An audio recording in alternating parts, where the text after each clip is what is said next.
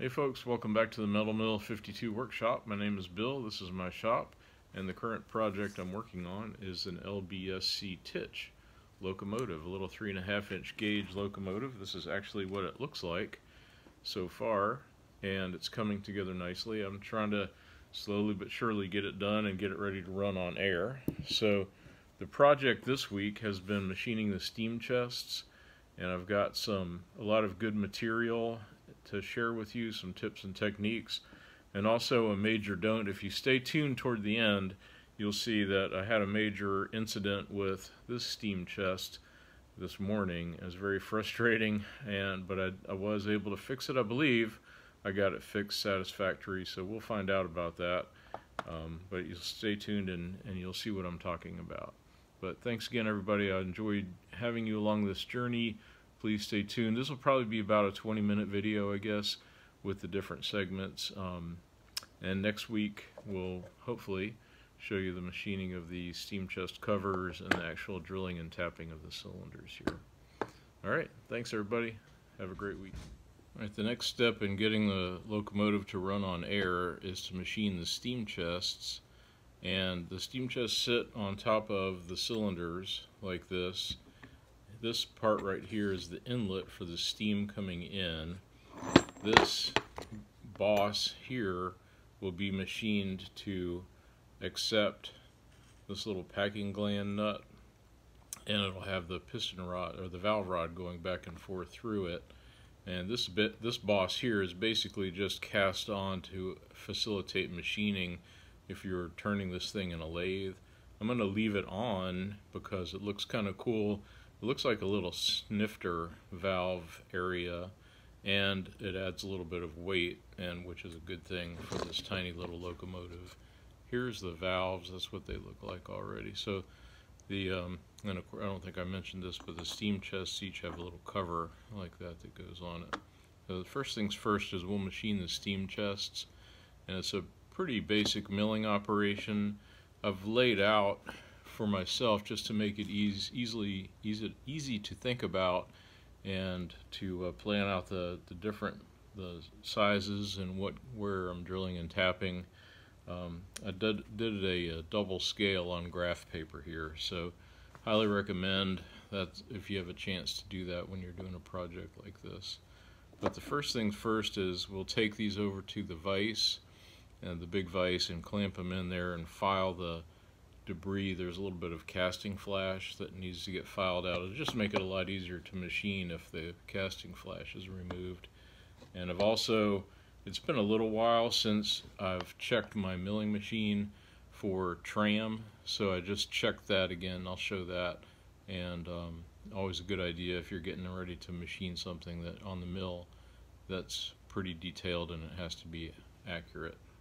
So off to the next step. Just want to show how I check the accuracy of the mill alignment device. And uh, what this is my favorite tool for it. It's a Starrett back plunger gauge. You can use it in a lot of different orientations, but this is the, the nicest one. Makes it so easy instead of fiddling with the little finger gauge. And I, as, as you can see, I've got my soft jaws, aluminum soft jaws in the mill. So I have a little plate inside there and um, I'm able to to check it all the way across the face of it and you know it's it's very uniform. So the it's still aligned just like it was and um, certainly good enough for machining starting to machine the steam chest. This is what they look like after they're filed. Excuse me.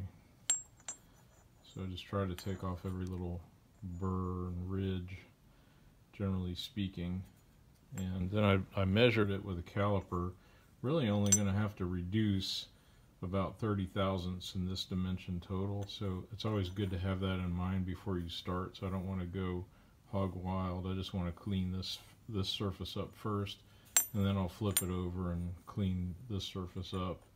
And then we can do the the two ends and then the and the inside and the drilling and tapping and off we All go. Right, well if machined the outside of both of these steam chests. I got them to the proper dimension. The width being on, uh, when I say width, I mean this dimension here an inch and 3 sixteenths and this dimension an inch and 3 quarters. I have not, I did make the bosses flat basically, but I have not machined them to thickness or you know, made the bosses the right length. Um, I, I, did want to show my little setup here. You can see I've got it sandwiched. I've got it blocked up on a couple of, sorry, got it blocked up in a little half inch squares. And that is to accommodate the, the uh, inlet there, the steamlet inlet that's pointed downwards in some cases, or in this case, I've got it, it's, it's just flat across the bottom. But on because the bosses are wider than the body, I've got a couple of pieces of cold rolled steel to help clamp on the center part here, and it's narrower than the overall, so it's it's um it helps. You want to uh, if you just put it in the vise without something like that, you'll have rocking, which is not what you want to have while you're milling. So it's been a productive couple of hours just to basically get these things filed and to the rough outside dimensions Next will be the thickness and then milling the inside dimensions and then milling the bosses to the right right dimensions. And then the final, the, the part that you want to have the ultimate focus on, of course, is the dimensions for drilling the holes and drilling and tapping the holes for the steam chest and the, the valve packing. So it's a good time after working on this for a couple of hours tonight. I'm going to take a break and come back at it tomorrow. Okay, tonight I'm just trying to get the um, outside edges of the steam chest machine down to a half inch, so it's a half inch thick. I did one side already. I just wanted to show the setup here. These soft jaws are really excellent for stuff like this, and having this slot in here, you can see I can get full support on the whole outline and um, there's a little place for the boss. This is left over from my Allen Mogul project uh, when I machined that. I can't remember what part I was making for these soft jaws, but these are aluminum soft jaws, and they really help. All right, here we go. This side is complete. The um, cutter did a really nice job. It's funny, the bronze, it's a lot different from machining other materials like steel and cast iron. It you really can kind of see it kind of moves the the metal moves a lot is what I'm trying to say. Another point I wanted to make is this boss here is supposed to get machined down to 5 16 outside diameter. So as you can see, I went ahead and flattened it so it's the same on the same plane as the rest of the casting is. And now I, am going to flip it over. I'll finish on the other side. I should have about 15th hour or so to machine from that side so it's evenly cut down to the half inch height. Okay, this one just finished. I just mic'd it. Let me show you the fit on there and it's, here I'll pull it off, right at 500 thou. So again, lucky than good. Take it out, deburr it, and uh, do the other one tonight. And tomorrow night I'll come back and route, uh, route out, mill out the insides to the right thicknesses. Okay, with the uh, thickness machine down to a half inch, then I blued the top surface just with a Sharpie marker and I laid out some lines to mill out to the correct dimension. There's not a lot, thankfully there's not a lot of material to remove there and the lines are not perfect but they'll be a good guide. I'm going to start out with my 3 8 inch end mill because it's sturdy and it won't deflect much. I'll put in a smaller one, like a quarter inch to finish up. Okay, got that one done. I would stop and mic, and I would just caution you that um, you do get a little bit of a wire edge built up, so be careful when you're miking the uh, dimensions. But I got pretty close. Actually, made it just a wee bit thinner in a couple of spots, a couple of sides, like, and unfortunately, you don't want to really want to do that, but it'll be okay, just a little bit thinner than it needed to be on the edges there. And I did use the, ended up using the quarter inch end mill. The 3 8 one was too unwieldy. I just put the second one in and did my layout lines. I just want to point this out. On some of these, there's not going to be a lot of extra material to remove. This is the side here that gets milled down to a 3 16ths of an inch thickness, and um, the out, out, outboard edge. This is the inboard edge, which is the quarter inch, and as you can see, you can barely see the line there. I'm just going to have to clean it up. The ends will be a little bit, but not more than about 15 or 20 thou at the most on either side. So should be quick work, but time to be careful. Okay, I got the second one milled down was a little bit more careful and it came out really good right on, on the measurement. So I'm going to clean up for tonight and then tomorrow night I'll come back. This is just Monday night. Tomorrow night I'll come back and drill the holes. And I did a grid layout. I'll show you kind of that so I can use my DRO. That was kind of the purpose of me doing the giant scale drawing. So if you orient it, flip it around. This way, the zero zero point is right here. So I'll indicate off of that and I'll be able to drill the holes on the on the part. And what I'll do is drill just the tapping size holes for the 540 screws on the, the thicker part of the web and the the two in the thinner part are the will be the tapping size for the 348 screws.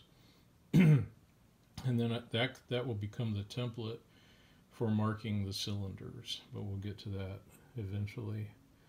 But I might as well drill those holes while I can, and then the only remaining thing for these will be turning all these to size, and I've got an idea about that. And um, drilling and tapping here for the steam inlet and drilling and tapping the back one for the uh, valve guide.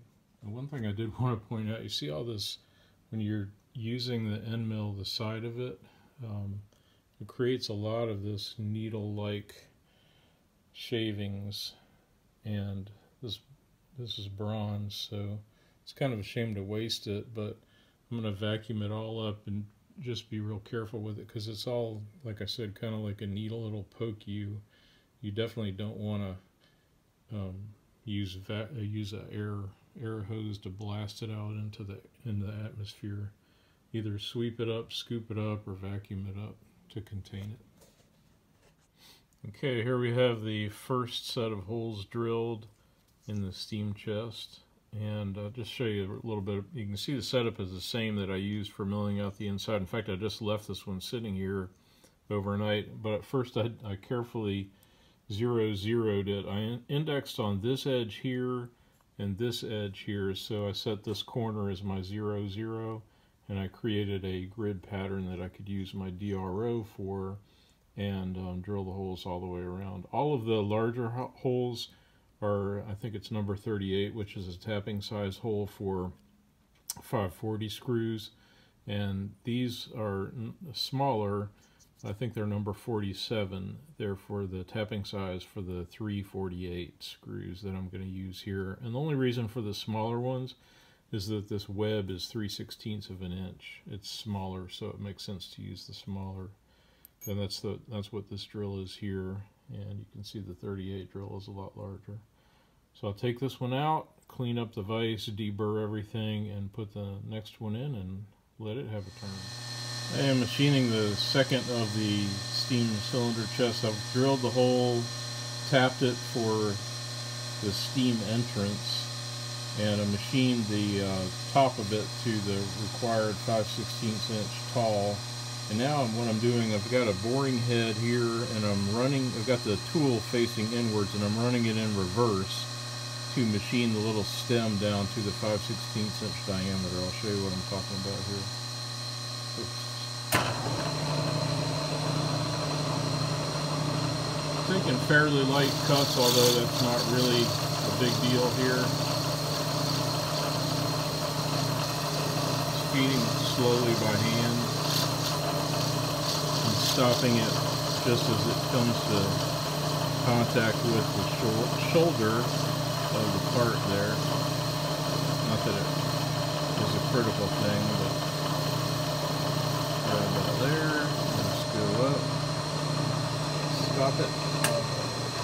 And now I can mic it and I'll just keep repeating. I'm pretty close here. Probably only have another 15th hour or so to get it down to the 5 16 inch diameter. I thought I'd shoot a little video here before I do the uh, outside of the second one. I've, I've uh, show, here's my setup. May or may not be the best, but it seems to have worked so far. And it's pretty self-explanatory the steps that I've done. And now I'm using a boring head. I run it in reverse with the tool pointed inward to uh, get to the diameter. I'm actually going a little bit less than the 5 eighths of an inch diameter because I needed to do that on one of them to clean up, so I'm doing it all on the same so they're uniform. Okay, that came out pretty nice. Just did one pass. And the, the outside diameter instead of uh, 5 eighths, which is 0.625, on these, as, as, I mentioned, it's a little less. It's right around 600,000. So now I'll release it from the vise, flip it over, and turn the uh, outside diameter of the other side. Well, this is interesting and frustrating. In the middle of turning the just the last operation for this particular part, the um, boring bar caught this, twisted it in the vise, and it just where that block was that I had, it collapsed it and and mis made it misshapen. So, excuse me. I'm trying to rescue the part. I figure worst case scenario, I either order a new casting or get a piece of 5 8 inch brass and just make it from scratch, which I can. But if, I, if possible, this bronze is so very soft that what I'm trying to do, I've got it in a thick piece of steel here and a clamp, and I'm just trying to tighten this clamp with some vice grips and see if I can press it, basically use the pressure of the screw to press it back out flat again. If I can save the part, I will. If not, then I'll start over again and order a piece of 5 8 inch brass. But only main reason I'm showing this is that my clamping technique in the mill, this is a danger for it. So be careful if you do that. Probably should have done it sideways where the clamping force was against both of these force, uh, faces versus edgewise. Alright, I figured if I was going to try to fix this thing, I might do it everything I possibly can to have it come out right. So what I'm doing here, I've got it in a vise, nice uh, big C-clamp, the biggest one I've got with the Acme thread. And I'm heating the thing up. You can see it's starting to turn red. I've I don't know if it'll show up real good on the video, but it's nice and uh, getting nice and red on the damaged portion. And I'm just increasing the torque on the end here. I got a vice grip on the end of the C-clamp. Just going to keep cranking that down until I get it flat as it can be. Okay, I took it out of the C-clamp. It's still hot as blazes. I used my channel locks to uh, pick it up. And I've got it in that steel block for a couple reasons. Because the steel block got hot, obviously, when I heated it all up. And now I've got it in, in the regular vise. And I've just tightened it up, not, not tremendously, but just a little bit. And my, my plan is to let it cool here and um, it should bring it into more parallel too because the other side although not not as badly damaged as this side the other side was a little bit bowed. Um, so we'll see. I'm gonna let it cool for a while and hopefully it'll it'll be good. If not then I'll make a new one. Okay hey let me show you these things side by side. So this is the one that I ruined this morning in the milling machine and this is the one that I didn't ruin. That is uh, all good to go one I'll show you the didn't ruin first. What I've done is just on this one all I had to do was file out the corners. I just put it in a vise and used my little triangular file and filed out the corners the rounded part and then used a regular file to file the flats. And I have gone through all the threaded portions again with the taps that were called for. It's a 3 16 by 40 threads here and this is a 5 16ths by 32 thread here. And I'll show you how the this is a little piece of the 5 32nd inch um, stainless steel that I used for the piston rods. It's the same material. That gets used for the valves although I'll turn down a portion down to eighth inch and then thread that probably uh, five to number 540 so that's all good. In that one this one, actually, I think I've rescued it okay. It's not the prettiest, but it doesn't look terrible either. And I think heating it really helped. I looked at it very closely, although you see some lines there. There's no cracks in it, and that was the biggest problem, or that would be the biggest problem if there were. But I think it's fine. I think the alignment is okay, and of course I did clean it up a little bit by filing out the corners and then filing the different surfaces. So we'll see. Like I said, I mean, I'm not afraid to make it over again if I have to, but since the, the part seems to be serviceable, and it was an interesting rescue thing. I am very, very glad that I heated the thing up. You'll, you saw how hot I got it, and it did seem to make a difference in um, correcting the geometry. And I think that from the little bit I understand about metallurgy and all, that's a, a good idea to kind of um, help things come back into a line that, that heating it cherry red for trying to form it. Alright, so this will be the last segment of this week's video. I was hoping to get a little further along, but I think what I'll do is just cut it off here at the end. The next thing will be machining the valve chest covers, and then of course drilling and tapping the holes in the cylinders. So I'll, that'll be my what I'm working on this coming week, and I'll do next week's segment about that. So thanks again, everybody. I've really enjoyed having you along this journey, and um, stay tuned for further updates. Take care now.